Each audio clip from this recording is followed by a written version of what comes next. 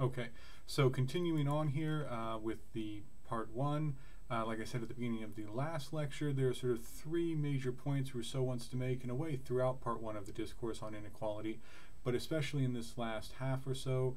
Uh, human beings in the state of nature, he says, first of all, they are not uh, social at all.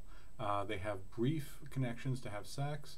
Uh, relatively brief family life. When when the when, when the woman gives birth to the child there is some connection between the mother and child. Eventually though when when the child can get food for itself it just wanders off and that's the end of that. So human beings have no natural sociability no natural connection to each other and certainly no natural uh, dependence on one another. So i mean another way you could say it is that he says human beings are naturally free. Uh, what does it mean for human beings to be naturally free? It means that they're not dependent on each other in, in any way except when they're children. Um, he also says uh, human beings in the state of nature are essentially just animals, especially in terms of their mental development. Uh, they do not have complex ideas. They don't have abstract ideas at all. They don't have language. They have very, very simple, very, very limited minds, and therefore they have very, very simple and limited desires for very basic, very real, uh, essential needs and, and pleasures like food, water, rest, and again, occasionally sex. So he says, you know, in, in the state of nature, they are very simple mentally, and therefore they are very simple, simple emotionally. They, they don't have intense desires unless they're really hungry for some reason, and they don't have desires for, for anything that, that doesn't exist in the state of nature, and they don't have any sense of self. They don't have pride, they don't have anxiety, they don't have any of those feelings. Uh, and finally, he says in the state of nature, human beings are naturally uh, compassionate. They, they're, they're, there's a natural pity. They, they, don't like to harm others unless they absolutely have to, because their own preservation is somehow at stake. And they, they, they just, in general, don't like to, to see people suffer. Other animals suffer, and again, they especially don't like to harm them unless there's some particular reason uh, that they absolutely have to uh, for their own self preservation.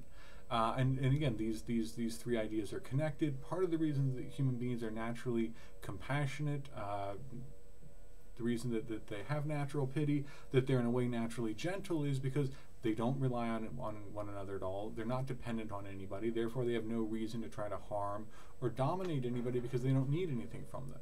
And they have no reason to be angry at them and there, there's there's no real competition over uh, abstract things, even things as abstract as pride, because Rousseau says that doesn't exist in the state of nature. The, the, the, the whole concept, the whole feeling, the whole emotion, experience of pride doesn't exist at all in the state of nature because human beings are not self-conscious enough for that. Uh, they, they don't, they don't uh, have any experience of themselves in that abstract way to feel as if they've somehow been insulted or offended by something. So even if there's direct conflict between them and another person over food, for instance, even if there, there's there are physical uh, uh, violence, of blows are exchanged and so on, one of them gets knocked down the hill. Uh, they're, they're fighting over you know uh, uh, an apple or something and, and on the top of a hill and one of them punches the other one and knocks him down the hill the one who gets knocked down the hill just says well now i have to go find something else to eat he has no desire for vengeance. That doesn't even make any sense. Uh, and he has no sense of pride. He has no sense of having somehow been insulted or offended. If, if a third person sees him, he doesn't feel embarrassed. He doesn't feel like he has to go back up the hill now and attack this person to somehow save face. None of that exists in the state of nature, Rousseau says. Uh, and in fact, on the contrary, in the state of nature, this third person who's watching doesn't doesn't doesn't uh, despise the person who was knocked down the hill, doesn't think less of them, doesn't doesn't think that they've been embarrassed in any way. If anything, they feel a kind of pity for that person. They, they feel bad, they, they, they feel pity, they feel discomfort seeing that person struck and seeing them suffer. Uh, and so Rousseau develops that in particular in this next section that, that, that, we're going to talk about here, this idea of natural pity, specifically he, he sort of addresses and responds to Hobbes. Uh, so he sort of says on page 96, after he's done sort of talking about language and so on, he says, look, let, let's not assume that natural man is either virtuous or vicious. He says, you know, let, us not get into the whole thing. He's just been talking about how he thinks that in the state of nature, human beings would be happier, as he says, you know, what kind of misery uh, can there be for a free being whose heart is at peace and whose body is in health? So he's talked about, you know, again, by, by nature, in the state of nature, human beings are free. And he says again, they, they, they, they, they, they have their, their, their heart is at peace. They don't desire anything they can't have. They're not even aware of anything beyond what they see in front of them and things that they can have, food and so on.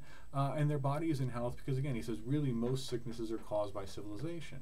So he says certainly the, the, the, the life of, of human beings in the state of nature or, or the life of savages today in very primitive uh, uh, types of societies that are still very close to nature uh, he says these these people are happy.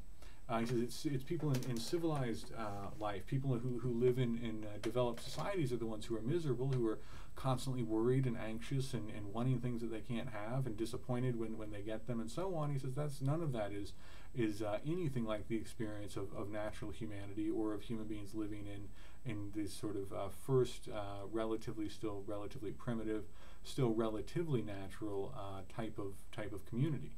Um, but he says, you know, so moving on from whether or not they're happy, he says, let's not get into whether natural man is, is either virtuous or vicious right here. Let's suspend judgment on that. And he says, well, then we should ask, you know, is civilized man actually more virtuous than vicious? Is it true that people living in society are somehow more virtuous than they are vicious? And he'll go on and he'll argue, no, they're not. And, and in fact, natural man is more virtuous because, again, natural man is still closer to that feeling of natural pity. And in this, in, in the rest of part one, Rousseau goes on and argues that really all of the good things that you see in society, all of the virtues, all of the benevolence, all of the humanity, all of that comes from this natural pity that hasn't yet been completely extinguished. Everything in civilized man that comes from civilization, that, that comes from living in society, Rousseau says is actually bad. It's negative, it, it makes them uh, unhappy, and it makes them wicked. But he says it's, it's this natural pity which still exists in people, in some more than others, but it's this natural pity which is the only source of anything good, any virtue in, in society, in civilized human beings. Um, so he, he, he responds to Hobbes here. He says, you know, let's not conclude with Hobbes uh, these, these various negative things about natural man, about human nature. Uh, above all, that as Rousseau says, that on the strength of the right he reasonably claims to things he needs, he foolishly imagines himself to be the sole proprietor of the whole universe. Remember, that was one of the things that Hobbes came back to again and again that human beings vastly, enormously overrate their own importance. And that to some extent they even think that somehow the world exists just for them. Uh, and, and, and Hobbes says, therefore, in the state of nature, you have competition over things that people need, but also uh, uh, conflict over glory, over people thinking that they're so important and wanting to avenge themselves when people don't, don't show them enough respect. And Rousseau says, that doesn't make any sense it's perfectly reasonable that, that people would have a claim to things that they need. If they need food, if they need water, they have a claim to these things. If there's conflict over them, and again, Rousseau says for the most part there won't be because the, the, the state of nature, the, the, the natural condition is one of plenty.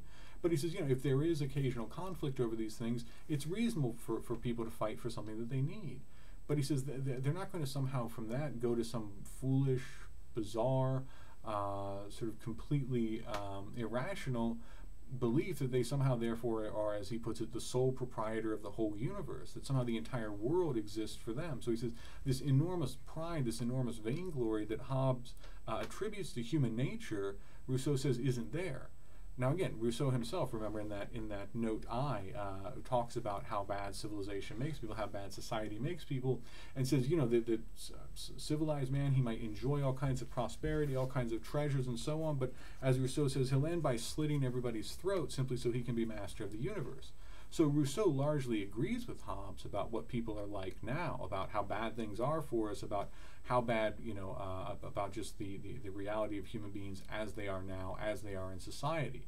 But Rousseau is just saying that's not actually natural. That, that, that, that doesn't come from human nature. It comes from the way that, that, that civilization, society, the loss of natural freedom, the, the, the creation of permanent uh, dependence and, and hierarchy and, and, loss of freedom and so on. He says that's where all this stuff comes from. It's not natural. It, it's not actually in human nature. Um, so again, he largely agrees with what with Hobbes about what people are, are like in society, about the people that they saw around them. The difference is just what is the cause of this. Hobbes says it's human nature. Rousseau says it's not human nature. It's it's it's the the the, the result, the uh, influence, the product of, of living in society. And so, why is that significant? In part, you know, as you have uh, a nature then as a standard to uh, to evaluate society to say how bad is this, but also to know, okay, to the extent that people are good, what is the cause of that? How, how, how, how can we how can we kind of focus on that? How can we focus on the cause of good? We have to know, well, what is it? Uh, it laws that people make for themselves in society, or is it in fact natural impulses in people? Um, so, anyways, so Rousseau again criticizing Hobbes, uh, disagreeing with him as, as he says um, at the uh, at the bottom of page uh, uh 98. He says, reasoning on his own principles, that writer Hobbes ought to have said that the state of nature, being the state where man's care for his own preservation is least prejudicial to that of others, is the one most conducive to peace and the most suited to mankind. So Rousseau says, in fact, Hobbes himself should have said that in the state of nature, uh, humanity's care for his own, each individual's care for his own preservation is the least prejudicial to others. Therefore, it's the best condition for human beings. There is no real need for conflict. There, there is no real reason for, for people to fight because they can they can satisfy their own very basic needs without any conflict with anybody else. Uh, Rousseau goes on and he says, Hobbes said precisely the opposite as a, as a result of introducing, illogically, into the savage man's care for his own preservation the need to satisfy a multitude of passions which are the product of society and which have made laws necessary. So again, goes back to that point that Rousseau makes at the very beginning, or near the very beginning of the book, uh, as he says, you know, all previous philosophers have set out to describe natural man, but they've actually described civil man. He says that's what Hobbes did. When, when he talked about the state of nature, he had people constantly, it was a war of all against all because they were fighting over things that don't actually exist in the state of nature. They were fighting over things, over, over passions, over desires that only exist in society.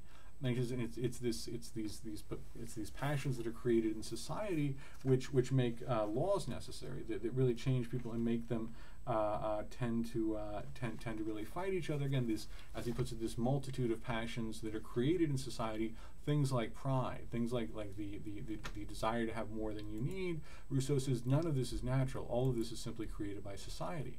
Um, so, so he says, you know, Hobbes again misunderstood natural humanity by putting all of these things uh, that exist only in society in the state of nature, and therefore had all this conflict in the state of nature, over things, over passions, over desires, and so on, which would never actually exist in the state of nature. So again, you know, Rousseau says, you know, human beings are naturally, in fact, good. He says. So he goes on again, continues to criticize Hobbes. He says the wicked man, according to Hobbes, is a robust child. In other words, a, a child, someone as selfish, as uh, self-centered and, and, and obsessed simply with their own needs and, and their own wants and so on as, as a small child, as, as a baby basically but it's like a strong, it's robust. It's it's like a, a baby that is strong enough to actually act on those desires. Um, and so so in Hobbes had said that, that the wicked man can be compared to a robust child. Uh, a wicked man, someone who just acts in a selfish way, is like a child, selfish but strong enough to actually act. Not not not strong and it can't just sit there and cry. It can actually go out and take things from people. Uh, but Rousseau says it remains to be seen whether man in a state of nature is this robust child. In other words, okay, that's a wicked man is like a robust child, selfish like a child, strong enough to act on those selfish impulses. But Rousseau says, is man in the state of nature like that? Is man in the state of nature uh, uh, as as selfish and as potentially cruel and and, and uh, wicked and so on as, as a child is? Because because of being selfish. Uh, is is in other words again is natural man wicked? Is is naturally man morally bad? Uh, and Rousseau says, even if we grant that, that man in the state of nature is, is like a robust child, what would Hobbes conclude from that? As, as Rousseau puts it, that if this man were as dependent on others when he is robust as when he is feeble, there is no kind of excess to which he would not resort. But, Rousseau says, two conflicting suppositions are here being made about man in the state of nature that he is robust and that he is dependent. So in other words, Rousseau says the whole reason that children are so selfish and are constantly crying and trying to get people to do what they want is because they're dependent on, on, on other people. If you make them robust, if you make them strong enough to satisfy their own needs, they're, they're, they're not going to be selfish. They're, they're not going to throw temper tantrums. They're not going to try to control other people. They're, they're not going to throw things and so on because they don't need anything. It's only because they, they need things from other people that they try to control them and do these things. Rousseau says if you take away the dependency, then people will then people are not wicked. The only reason that they have to be wicked is because they somehow rely on or depend on this person, and therefore controlling or dominating them becomes very important. But Rousseau says take away that dependency, make somebody robust and and you know again strong, strong enough to to, to just uh, answer their own needs, satisfy their own needs without relying on anybody else. And Rousseau says they have no reason to harm anybody else they're not going to fight anything because they, they, they, they, can get things themselves. And they're not going to try to control or dominate or hurt anybody because they don't need these people for anything. So Rousseau says if people are genuinely robust, then, then they're not going to be wicked. Much, wicked. much of the wickedness in human beings, he says, comes from being dependent, comes from needing other people and therefore feeling the need to control them or to harm them in some way. Uh, and he says, again, take away that dependence and you take away the wickedness. Uh, what you have is someone who's capable of satisfying their own needs and therefore has no real reason to, to attack anybody else, uh, to be in conflict with anyone else. So He goes on and makes this further point, as he says on page 99. Thus, one could say that savages are not wicked precisely because they do not know what it is to be good. For it is neither the development of intelligence nor the restraint of the laws, but the calm of the passions and the ignorance of vice which prevents them from doing evil. So, again, as he says, savages are not wicked, natural human beings not wicked, uh, but that's almost because they don't know what it is to be good. Their life is so simple that they haven't even advanced to the stage where there's there's a choice between good. Be, be, it's as if their life is so simple that they haven't even advanced to the stage of having a choice between being good and being wicked. He says they don't even know what that means. They don't mean they, they don't know what it would mean to be good. They don't know what it would mean to be bad or wicked, and so they're not wicked. He says it's, it's not due to the development of their intelligence. It's not because they've, they've developed intellectually to understand why I should act this way, what is good, and so on nor the restraint of the laws. There are no laws. It's the calm of the passions and the ignorance of vice. It's the fact that their passions are relatively calm, and therefore they're not frenzied. They're not doing terrible things because they're over over overwhelmed or consumed by, by really strong but, but bad or destructive passions. And again, the ignorance of vice. They don't even know what, what, what would I do? Why would I, what, what, what, you know, what, if I wanted to be wicked, what would that even mean? I don't know. I, I, I don't necessarily even know what vice would be, so they're not going to be drawn to something again, so so again, this idea that because uh, human beings in the state of nature have very calm passions because they don't really know a lot about about what could happen, about what people later learn about uh, in civil society. Uh, th- they have no real reason to do evil because again, their minds and therefore their passions are not developed enough they can even understand why would it be attractive to me to hurt people in this way? Why would it be attractive to me to take from this? Why would I go and take someone else's fish when I can simply get my own? I mean, certainly not because I just want to feel more powerful than them. That doesn't make any sense. Uh, considerations like that, emotions like that, Rousseau says, don't exist in the state of nature. They do in society, but not in the state of nature. Um, then he goes on his final criticism of Hobbes. There is, moreover, another principle which Hobbes failed to notice. Uh, and he says, even this most cynical commentator on human nature Bernard Mandeville, who wrote a fairly famous book called The Fable of the Bees, in which he argued that basically human society, human beings are entirely or almost entirely selfish and self interested. Society is simply a way of finding a way to make these self interested individuals work together. Obviously, you know, sounds something like Hobbes. Um, and he says, you know, even even Mandeville, though, in the Fable of the Bees, has a story about an imprisoned man who who sees a, a mother holding her child and sees a wolf come up and and and you know tear the child out of the mother's arms and t- tear it up and eat it. And and uh, Rousseau says even Mandeville had to admit that this person watching this, though he's completely safe, doesn't know these people, has nothing to do with them, would still be overwhelmed with with anguish and, and pain and basically compassion, feel great pity for this mother and for this child, seeing them suffer in that way. And Rousseau says that's what Hobbes forgot about there's this basic principle of, of fundamental compassion or pity in human beings. He says, in fact, it's in various other animals. He gives examples, not not really that important whether or not you believe them. Um, but he says, you know, th- th- there is basic natural compassion in human beings, and even the most cynical observers will recognize it. Will see that you know there, there, there's a reason why that, that not even a reason why, just that, that that people sort of if somebody sees somebody else suffering, even if it doesn't if, directly affect them, they feel bad. They feel some kind of pity. Um, and, and Rousseau says that's that's a remnant of, of nature. That that's a remnant of what it was actually like to be to, to, to be living in the state of nature. This natural impulse of pity, because Rousseau basically says there's no way you can understand how civil society would have ever produced that in people. That feeling of pity, Rousseau says, it would never come from society. If you look at society, what you see is all kinds of crazy things, but nothing that would actually make people compassionate or, or, or feel pity for one another. Rousseau says that has to be natural because we simply can't account for it otherwise. Civil society is all about domination and, and inequality and pursuing all kinds of uh, uh, passions and so on that, that are not necessarily uh, uh, necessary or, or, fundamental or anything, he says. But what you would never be able to figure out is why society or how society would somehow make us feel actual uh, discomfort, anxiety, anguish when we see somebody else suffering. Um, and he says, you know, compassion or pity is even stronger in the state of nature than it is in civil society. We can still see it somewhat in civil society, in, in, in society, in a more uh, socially developed uh, situation, but it's even stronger in the state of nature, he says. Uh, he says, it is reason which breeds pride and reflection which fortifies it. Reason which turns man inward into himself. Reason which separates him from everything which troubles or affects him. So he says it's reason which breeds pride, uh, reason which turns people into on themselves and, and separates them, sort of uh, isolates them from the others, from, from other human beings. So in the state of nature, people didn't need each other and they were kind of on their own. But Rousseau says in society, reason can really turn people inward on themselves. It really separates or isolates them from other people in a much more fundamental way than was ever the case in the state of nature. In the state of nature, people didn't need each other. They were kind of, you know, indifferent to each other. But in civil society, people even become kind of isolated from one another, really broken off. They, they don't even feel any kind of natural connection, which Rousseau says people in the state of nature would have. He says, reason which separates him from everything which troubles or affects him. So it's reason which enables you to say, I feel this, it bothers me, but I shouldn't. I, I can come up with a reason why this shouldn't actually bother me.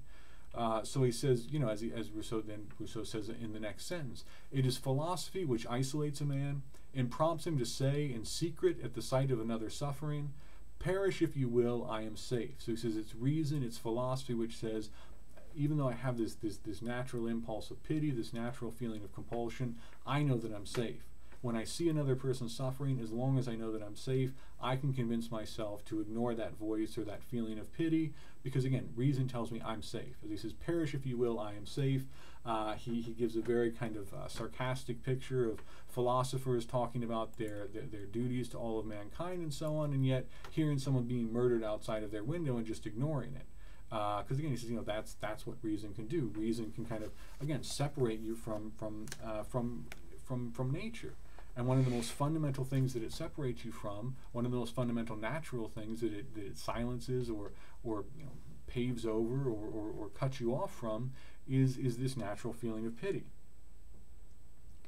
Um, so as he says, a fellow man may with impunity be murdered under his window, the, the window of a philosopher.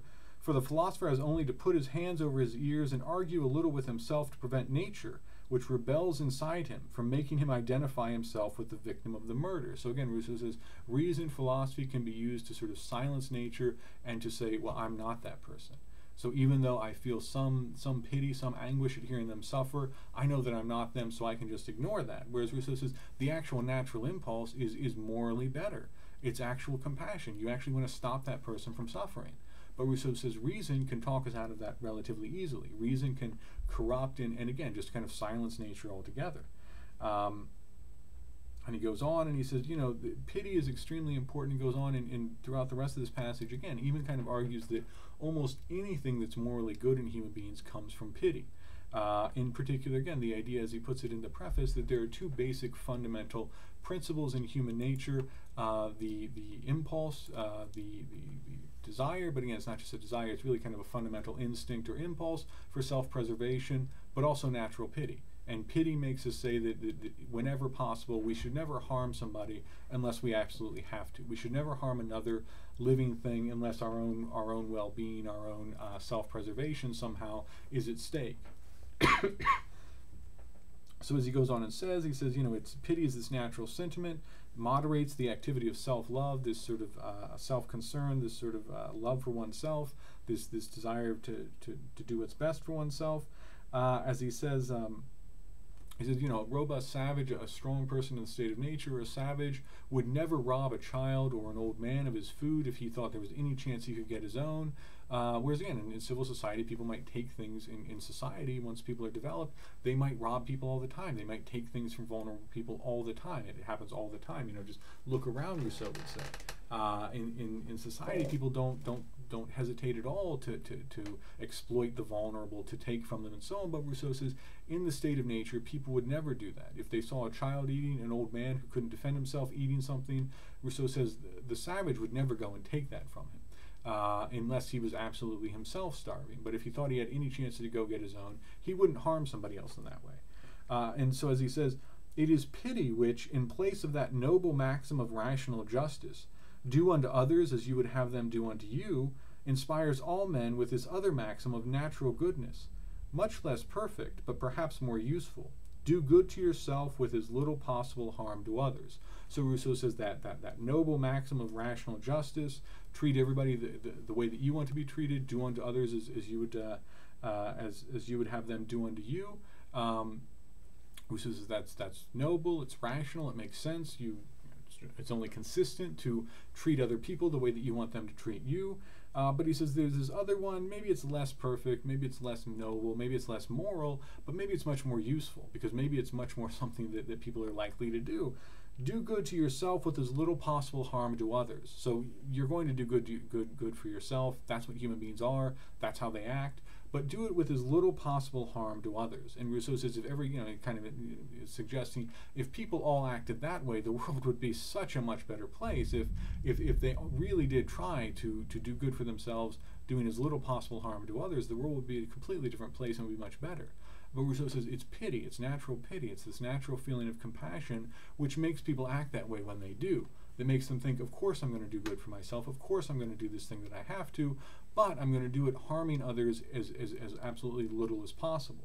Um, so he says, you know, that's that's where pity comes from. Again, this is less perfect, less impressive, but probably more useful. Do good to yourself with as little possible harm as others. Again, he says it's natural pity, it's compassion, which which restrain which restrains people, which stops them from simply going out and doing what's best for them, even if it really harms other people. That makes them think maybe there, there, there, there's another way to get this.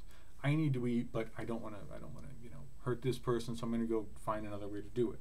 Um, so he goes on. He says, in a word, it is to this natural feeling rather than to subtle arguments, that we must look for the origin of that repugnance which every man would feel against doing evil, even independently of the maxims of education. So he says, you know, even uneducated people feel a certain repugnance against doing evil, especially, you know, cruelty, he's basically saying. Harming people for no reason, but really harming them in general, he says there, there, there's a kind of natural repugnance that people feel towards that. And he says it's not because they've been taught, it's not because they're rational, it's because of natural feeling. Although it may be proper for Socrates and other minds of that class to acquire virtue through reason, the human race would long since have ceased to exist if its preservation had depended only on the reasoning of the individuals who compose it. So then he goes even further. He says Socrates maybe could have reasoned everything out, would know to be moral, would know what the right thing is to do based solely on having discovered it through reason. But Rousseau says for the vast majority of human beings and for the human race as a whole, natural feeling is the only guide. As he says, the entire human race would have perished a long time ago if it had to rely on reason to, to get people to actually act correctly to stop from killing each other, basically. He says, you know, it's only this natural impulse, this natural feeling of, of pity. Uh, so, sort of summing up what he says here, uh, language and family are not natural. Uh, they, they, don't exist in the state of nature. They, they are only the product of later developments. Cruelty is not natural because cruelty and, and the desire to master or to dominate others comes only from dependence. So you only want to hurt somebody as a way of controlling them, as a way of dominating them, only when you're somehow dependent on them, only when you need something from them and, you, and you're trying to assure that through harming them. Uh, and none of that would have existed, he says, in the state of nature. Again, in the state of nature, people were free. And therefore, being free, they, they, they didn't have any reliance, they didn't have any uh, dependence on anybody else. And again, they, they certainly weren't themselves being somehow controlled or dominated by anybody else. Moreover, he says there's the natural feeling of compassion uh, which he says ultimately, you know, does restrain people from doing all kinds of terrible things that they might do otherwise. So it's not just that they have no particular motive to be cruel or, or, or you know, uh, violent or anything in the, in the, state of nature, because they don't need to be. They, they don't need anything from other people. But there's natural compassion, which actually serves as, as a check on that.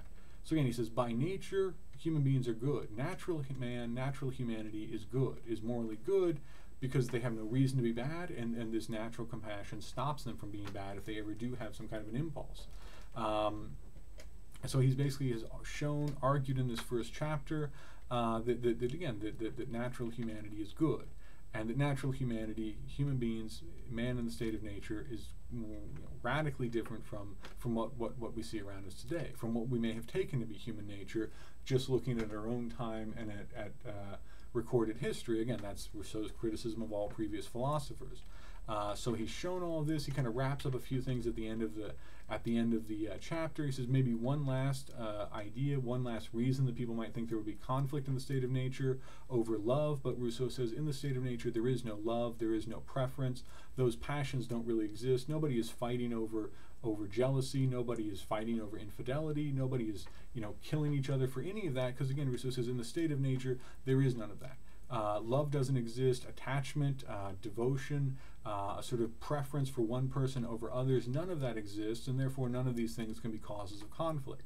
If, if sex is seen as simply a natural uh, desire that, that comes and then is satisfied and then goes, then then th- there's there's no reason to become violent about any of that any more than there is over food or anything like that. So he says, you know, th- there, there is no love, therefore there is no jealousy, and therefore there is no violence about these things in the state of nature.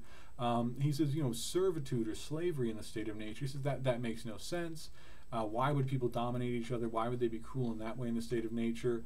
It's more effort, it's more risk. I mean, you know, why would you? Who's so lazy that, that, that they're going to somehow, or, but also so rash? And so it's it's a weird mixture. On the one hand, they don't want to have to do anything themselves; they want to slave. On the other hand, they're they're they're willing to, to put all this effort into constantly watching this person so they don't run away, and they're willing to take the risk that the person will turn on them and kill them, or kill them when they're asleep. Rousseau says none of it makes any sense. There would be no slavery in the state of nature. There would be no no uh, inequality, no domination of that kind at all. Um, and again, he, he says it's it's uh, it's uh, uh, dependence that creates inequality, and dependence was pretty much impossible in the state of nature. So there would be no way to enslave anybody because the person would just disappear. They don't need anything, and and there's there, there's not enough to sort of stop them from getting away. As he puts it on page 106 of this translation. Um, Without expanding uselessly on these details, anyone must see that since the bonds of servitude are formed only through the mutual dependence of men and the reciprocal needs that unite them, it is impossible to enslave a man without first putting him in a situation where he cannot do without another man. And since such a situation does not exist in the state of nature, each man there is free of the yoke, and the law of the strongest is rendered vain. So he says, you know, sometimes people say in the state of nature the strong would exploit the weak, but he says that that's not possible unless the weak were somehow dependent on the strong, but they're not. Uh, therefore, this this whole idea doesn't make sense because you can't enslave someone unless they somehow are dependent on you, unless they've somehow lost their basic uh, natural freedom in the sense of the, the ability, you know, that, that they don't have to rely on anybody. They don't have to rely on you for, for food or for anything else. Once they simply slip away, then then they can fend for themselves again. so Rousseau says there was no slavery in the state of nature. There was none of this. None of this makes sense. Uh, so again, and then so he says, you know, again, so he's sort of shown humanity in the state of nature naturally good. No violence, no slavery, no domination, uh, no real reason to harm each other at all. And again, a, a very powerful uh, uh emotional or, or uh, uh, passionate check on all of that in the form of natural pity or natural compassion, a sort of natural repugnance at causing harm to anybody else. Uh, and so Rousseau says, in you know, overall, or really in every way, uh, human beings in the state of nature were superior to human beings in society. So, having shown all of that and having given his idea of, of, what human beings were like in the state of nature, at the very end of part one, he says, So now I'm going to go and, and, and explain how I think that we came to be, uh, how we came to leave the state of nature and to uh, arrive at, at, the state that we're in now. And he says that will be somewhat speculative, but I will sort of lay this out now in, in part two, explain how this progress happened.